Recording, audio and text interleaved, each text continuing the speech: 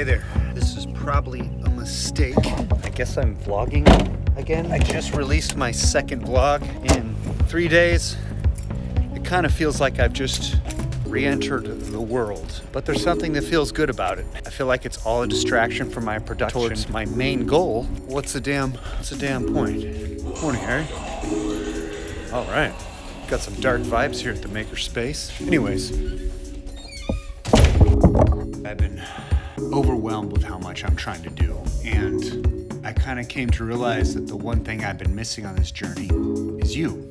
I was at the gym the other day. I saw somebody I hadn't seen in a long time, and they had noticed that I had uploaded something for the first time in a long time, and they seemed to really appreciate it. They said some things that were really nice. We need this, and you don't know how much your work is appreciated. And that's true. I really don't. Whenever I put something in, and I've probably bitched about this several times, but when you feel really good about a video and then you get what you get from the algorithm and it completely takes an emotional shit on you and your work, it just makes you feel like your work doesn't matter. And that's really hard for someone who takes it personally. I work really hard for all this. So to hear somebody say that and have another person just send a nice message says welcome back, like holy shit. People noticed that I was gone and they're saying thank you for coming back. You know who you are. Thank you. I don't want to stay disconnected because your support is very helpful. I want to be able to do both things. Keep my channel alive here and start my new channel.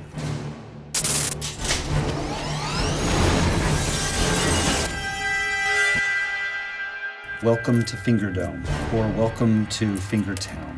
Still deciding. Lights off. Should I start a new channel? This is what I want to ask you. This is a test. Leave a comment. Just humor me, especially if you know how this stuff works. My feeling is that you want to be very specific about the content that you're releasing if you want a successful YouTube channel. So if you're doing this and you're doing that and you're doing a whole variety of things, it's just not going to work out really well for you. If you're looking for success, if you just want to do it as a hobby, that's fine. So of course, aside from the vlog, I've done all kinds of random shit on here because I still want to feel out what I want to do. I don't like to question inspiration when it comes up, so I've done what I'm not supposed to do. And naturally, my channel hasn't blown up the skirt of views or subscriptions per se. When I start the Finger Play channel, the Finger Play channel.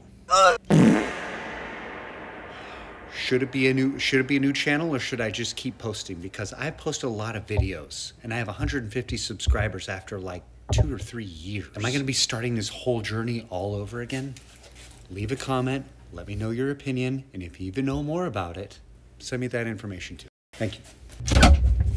The reason I say that I shot things is because I shot a lot of my setting up of the studio. I shot a lot of footage. I just chose not to edit. I want to release pieces of that. I don't want to get too carried away. My creation process is too slow. I get caught up applying details and I get lost in the weeds with it. And I need to learn how to allow things to be imperfect. So moving forward, good is better than perfect because good gets done. Perfect dies in a tomb.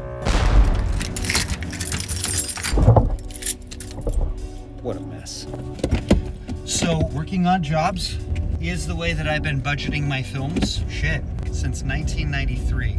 My goal hopefully by the end of this year, is to be getting money back for this. If you knew you could do what you love and make more than enough money to do what you want in life, if you knew if there was a contract, when you fulfilled your part of the contract, you would do anything for it, wouldn't you? You would do anything to get out of the matrix, wouldn't you? I need to stay connected to that. All right, we are here at States Coffee, the person who I was working for today, who said she needed me at noon, now doesn't need me till 1. Holy crap! Mr. Matt Petullo. Uh, Jason, what's up, my friends? And I'm excited about the video. I love this place. I guess the vlog is back, at least for today. It's making me feel a little better about things. We're now here at States Coffee, so Out of respect to the patrons here, I'm gonna shut the hell up and get to work. I just had like one of those moments where it kind of was like slow motion and I just felt happy. It's funny how you can have your brightest of bright moments after a dark, dark period, which I just came out of. It's been really nice talking with you and I think that's part of it. It's felt really good to reconnect. I'm gonna get to work now, right? That's what I'm gonna do.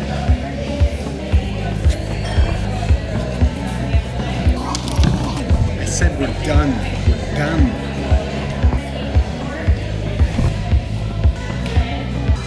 We're done. yeah, it's pretty good advice actually.